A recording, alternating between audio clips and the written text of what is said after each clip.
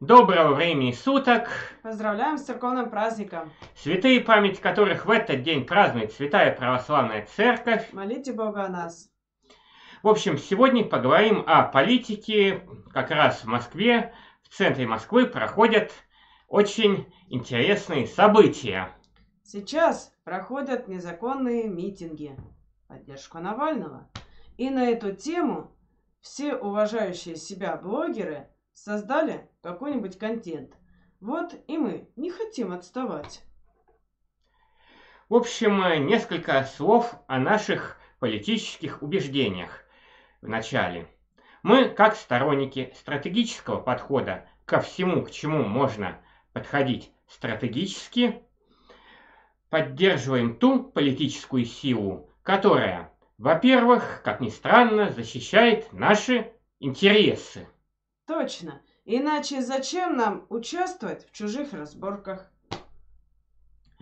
Во-вторых, велика вероятность, что она нас не кинет. Не кинет, потому что мы и наши единомышленники могут на эту политическую силу влиять и надавить, если она захочет нас все же таки кинуть. И в-третьих, эта политическая сила имеет большие шансы на победу. Потому что если мы с кем-то связались, и они победили, мы получим хорошего совсем немного. А если эта политическая сила потерпит поражение, мы потеряем все. Ну да, за участие в политических мероприятиях могут и покалечить, могут и в тюрьму посадить, могут даже убить. То есть нам совершенно пофиг, как эта политическая сила называется коммунисты, монархисты, анонисты, пофигисты или даже защитники однополых браков. Пока наши интересы совпадают, пока мы знаем, что они нас не кинут, и пока эта сила имеет шансы на победу, мы с ними. И не минутой дольше. Ну, на то и политика. В общем, э, мы советуем придерживаться аналогичных политических убеждений, потому что у кого такие практичные и циничные политические убеждения, тем нельзя манипулировать с помощью политтехнологий. Он сейчас... просто не поведется. Да, сейчас народ спросит. И все-таки мы за Путина или за Навального? Ну, ну так мы не за того и не за другого. Более того, мы даже не за и не против патриарха Кирилла. Мы не за и не против э, мятежного схи-игумена Сергия Романова.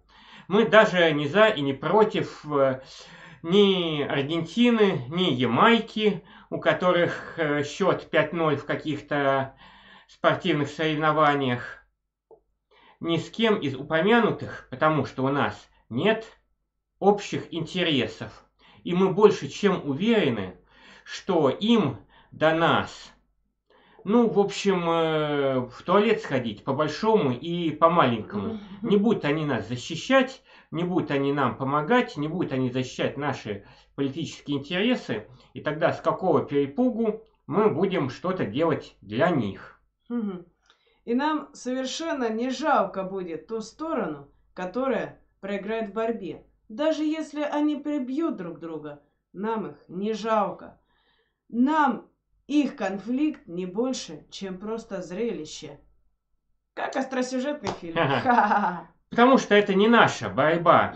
И поэтому мы в ней занимаем позицию сторонних наблюдателей. Сторонних наблюдателей. Сторонних наблюдателей. Потому что это не наша борьба. Не лезем мы в чужой конфликт, не лезем мы в чужие разборки.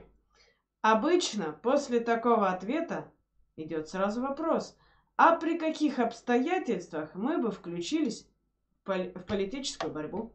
Ну, Лен, а какие у нас вообще могут быть политические требования? А, ну, например, классика хлеба и зрелищ. Ну, у нас это пока все есть. Интернет полон зрелищ. Ну, телевизор, телевизор у нас сейчас цифровое телевидение, даже на даче, хорошее качество, интересные программы, научно-популярные, музыкальные. Так что со зрелищами у нас все в порядке. Идем в магазин. Э, все в продаже есть. Причем э, денег нам хватает пока. А бороться за то, чтобы красная икра стала в два раза дешевле, или чтобы треска стала в два раза дешевле, мы за это не будем бороться. Мы пойдем и купим свиной окорок. Зажарим и Логично. съедим. Да, логично. Ну, тогда с учетом коронавирусных ограничений. Хотим дышать свободно. Ну, это, концов. кстати, да, это как раз это требование, мы с ними полностью согласны. Иными словами, долой масочный режим. Вот это соответствует нашим интересам. Да. Мы знаем, насколько вредно длительное ношение масок. Мы это читали на сайте Лиги защиты пациентов. Мы даже провели в прямом эфире научный эксперимент на хэллоуинскую тыкву. Надели медицинскую маску, и свечка в ней через несколько секунд погасла, хотя якобы маска не затрудняет дыхание. Мы знаем, как коронавирусные ограничения нарушают гражданские права граждан. Ну да, презумпция виновности. Каждый объявляется потенциальным носителем вируса и обязан носить маску. По логике, каждый может являться террористом. Значит, давайте всех расстреляем. Ну а вот каждый мужчина является потенциальный насильник. Значит, давайте всех кастрируем, может быть, так? Ну, тоже как вариант. Или на основании теста с эффективностью 50% людей сажают на карантин и штрафуют. Так, по логике, можно распустить Следственный комитет и сажать в тюрьму по подозрению, типа похож на бандита. Ну да, что-то рожа какая-то бандитская. Посмотрел психолог, да, рожа бандитская. Ну и в тюрьму зачем ему следствие какое-то вести, зачем доказывать виновность, Мгм. улики собирать. Типа того. Ну вот по логике коронавирусных ограничений так. Да. А вот пожилые. Ну, а вот э, пожилых вообще закрыли на основании возраста. Это ему вообще какая правовая оценка? Ха! Хорошо, хоть не на принудительную эвтаназию. Ну да, принудительная эвтаназия, а за укрывательство пожилых родственников всю семью на расстрел. Примерно как фашисты за укрывательство евреев. Почему Навальный про это не снял фильм? Если он против Путина, если президент такое беззаконие одобряет, то он фашист, его надо судить. Если президент это не видит, то он невменяемый, и ему надо срочно на пенсию. Зачем придумывать какой-то дурацкий дворец, который президенту дали в виде взятки? А Навальному это не надо. Он выполняет типичную роль подконтрольной текущей власти оппозиции. Ему не надо свергать Путина, ему не надо разваливать Россию, как считают некоторые блогеры и политаналитики. Его вполне устраивает проводить такие политические протесты, которые не опасны для текущей власти. Он не первый год этим занимается. Всех это устраивает. Иначе бы его не было там, где он сейчас есть. То есть это его не первый такой митинг. Он э, и под следствием э, сколько раз сидел, и, несмотря на все судимости, его за границу как-то выпускают. Ну, то есть это все говорит о том, что он устраивает э, текущую власть.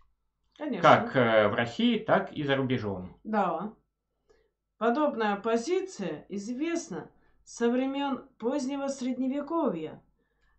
То есть, когда подконтрольный и верный королю человек якобы начинает готовить мятеж, его не трогают, но тех, кто ему симпатизирует, хватают и вешают, как мятежников. Ну вот если случится серьезный протест против текущей власти, то его возглавят более серьезные и решительно настроенные люди, и Навальный потеряет свою должность придворного мятежника. Поэтому он и собирает на свои мероприятия таких, э, ну, придурков, которые могут поверить, что президенту дают взятки дворцами. Как смешно. То есть Навальный ставит для своих последователей такой социальный фильтр, чтобы на его мероприятия шли люди, абсолютно не разбирающиеся в политике, чтобы самого Навального не подсидели. Ну, конечно, потому что если пойдут люди, которые в политике разбираются, и которые действительно собираются свергать того же Путина, менять э, что-то в стране, но они сразу Навальному скажут, Леха, подвинься, Ну, Ты конечно. здесь не разбираешься. Сейчас мы будем по всем правилам организации не какой-нибудь цветной революции, а Мгм. обыкновенной, социалистической, Да. на основании имеющегося опыта. Ну вот на мероприятие Навального идут школьники, которые хотят показать свою крутизну. Гоблин по имени Дмитрий Пучков называет их малолетние дебилы. Кстати, Лен, объясни малолетним дебилам, почему дворцами взятки не дают. Ну, потому что сразу дворец не приносит никогда прибыль. Его очень дорого содержать. А жить сразу в сотне комнат один человек в принципе не может, да ему это не нужно. Дворец это всего лишь административное здание, которое используют для вполне конкретных целей. Кроме этого, когда взятку дают, то делают это так, чтобы не было видно. А дворец слишком заметен, он большой просто. Ну, в капиталистическом обществе вообще не дают взятки первым лицам государств. Им дают возможность купить акции высокоприбыльных предприятий. Если у Путина есть акции Газпрома, который дает э, большую прибыль, то ему совершенно не нужно участвовать в сомнительных финансовых операциях. Хм, точно. Потому что именно из дохода от ценных бумаг получаются сверхвысокие зарплаты топ-менеджеров.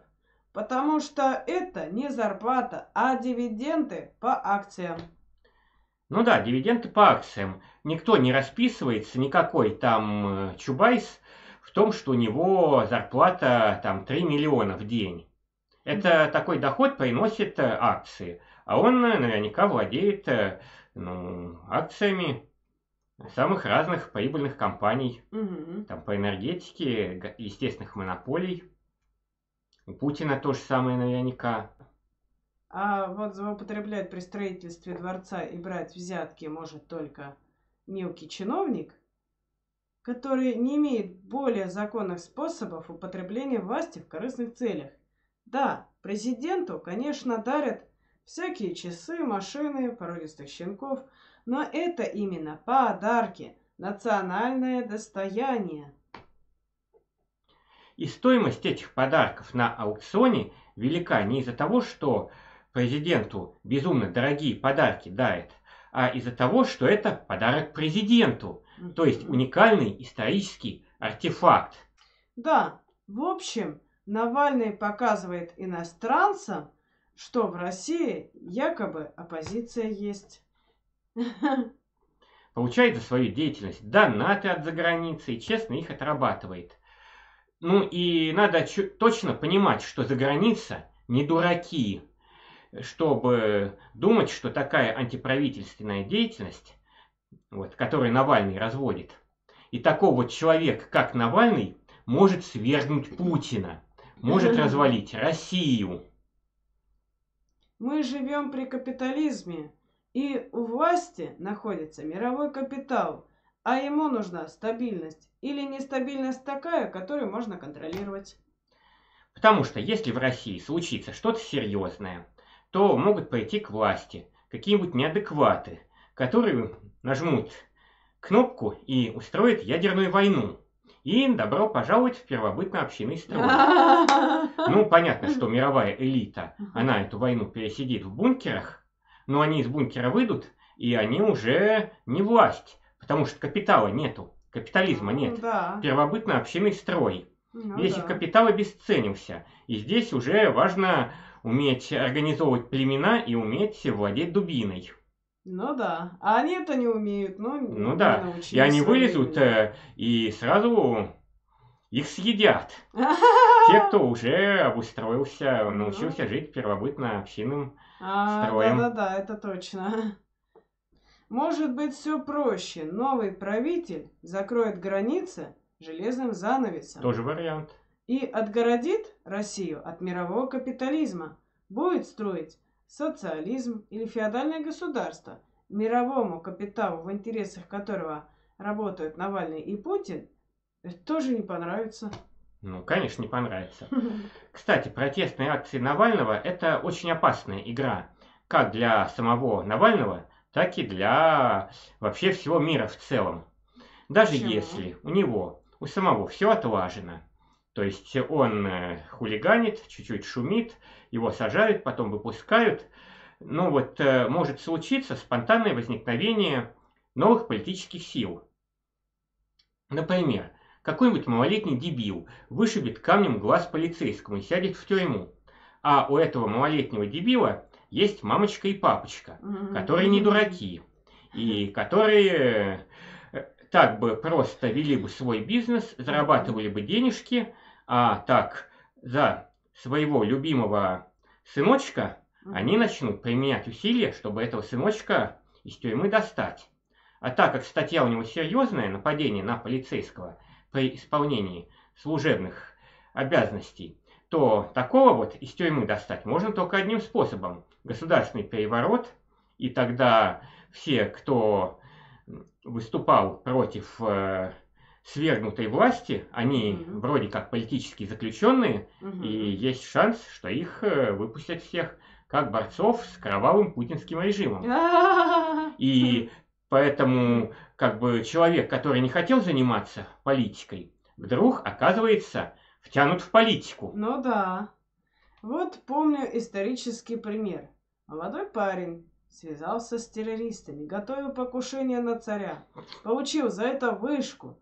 Но его брат оказался умным и вместо того, чтобы заниматься терроризмом, начал вести серьезную политическую борьбу со старым режимом и добился успеха. Ну, сначала, конечно, учился, Ну да. читал литературу соответствующую. Он, э, соответственно, как э, брат террориста подвергался всяким притеснениям во время Да, учебы. Да. Пришлось ему учиться хорошо. Мгм. Это, эти притеснения его еще больше натолкнули на мысль, что с кровавым царским режимом надо что-то делать. Да. Ну и поэтому стал успешным революционером и организовал победоносную социалистическую революцию. Ну, правда, не с первой попытки, много сил, времени на это ушло, но результат Слава налицо. богу, да. Да, мы в школе это, конечно, все проходили.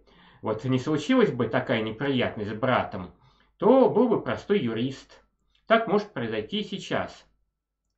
Потому что участников незаконных митингов арестовывают, сажают, и следующие митинги уже устраивают не ради каких-то амбиций Навального, а для того, чтобы выпустили тех, кого задержали на предыдущих митингах, как политзаключенных. И здесь уже Навальный вроде как в стороне. Всех своих сторонников кинул. Может быть, даже под арестом отдыхает. А какие политические силы задействует мамочка, чтобы освободить своего непутевого сынка, неизвестно. Ну, типа, зачем нужна Россия? Зачем вообще нужна жизнь на земле, если мой единственный любимый сын в тюрьме? Сказала мама малолетнего дебила, нажимая кнопку с печатью Бафомета. И настал пипец.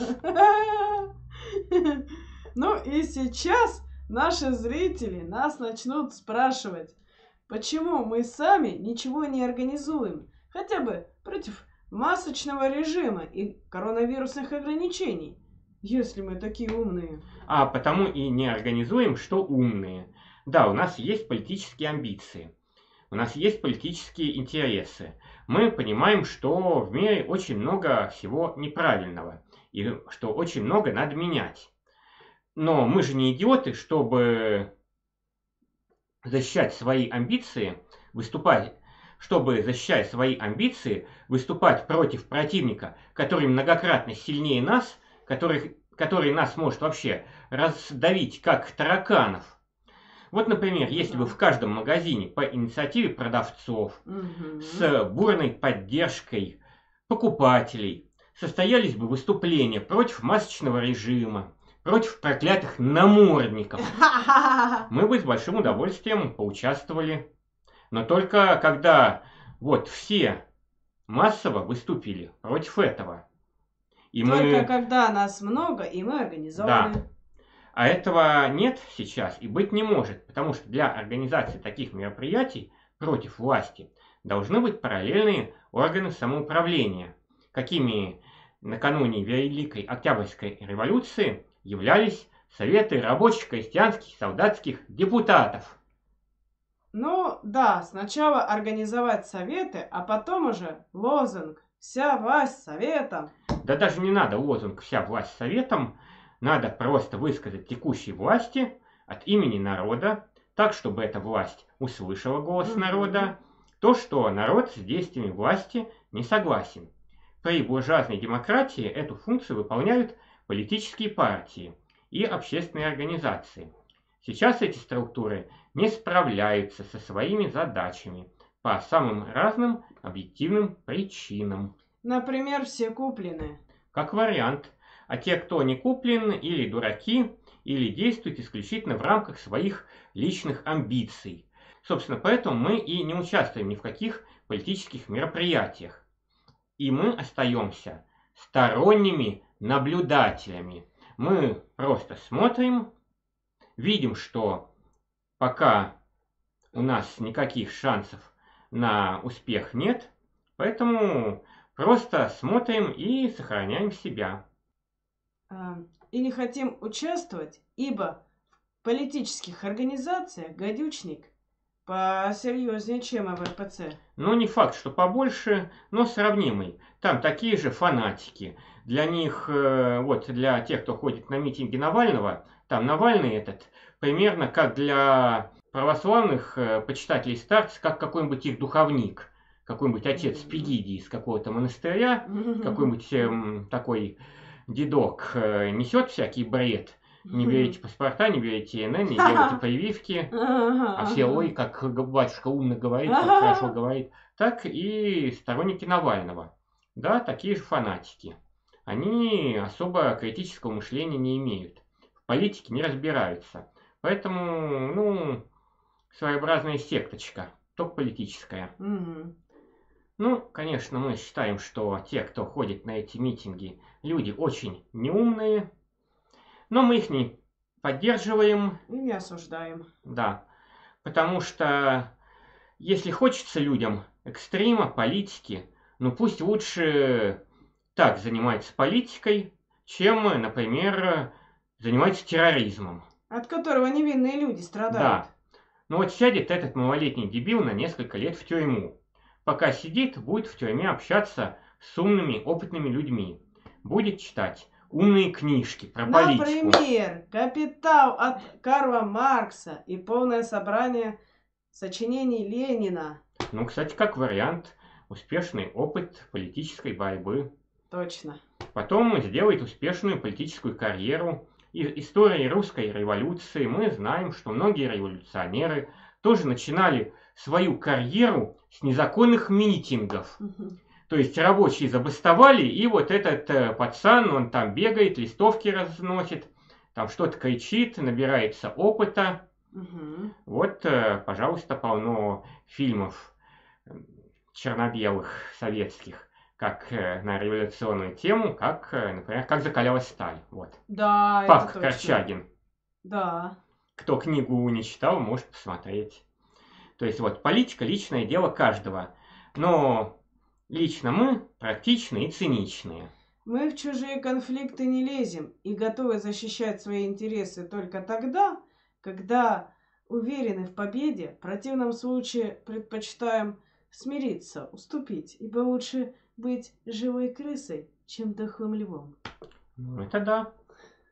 Себя бережем хотя бы. Ну да. Но если изменится политическая ситуация, то вполне возможно, что мы к какому-то политическому движению примкнем, а потом э, от него отойдем и к другому политическому движению примкнем. В политике именно так и делается. Ну, в в политике принципе, да, верности не бывает.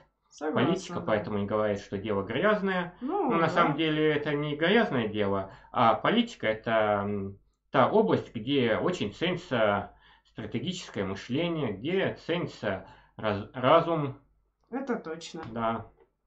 Вот примерно как так. Вот все, что мы хотели сказать про наши политические убеждения и про наши отношения к проходящим сейчас в центре Москвы и в других городах незаконным политическим митингам. На этом мы прощаемся с вами. Спасибо большое за внимание. Это были Колян Платков и Лена Магадан. Подписывайтесь на наш канал Платочек, ставьте лайки, пишите комментарии. Если поставили дизлайк, напишите, за что дизлайк. Будем работать над Принимаем хейт и говорим, что ни Путин, ни Навальный нас не донатили. И мы прекрасно понимаем, что и донатить нас не, не будут. будут. Это сразу отвечаем на вопрос, сколько вам заплатили за этот видео. До свидания. Спасибо за внимание.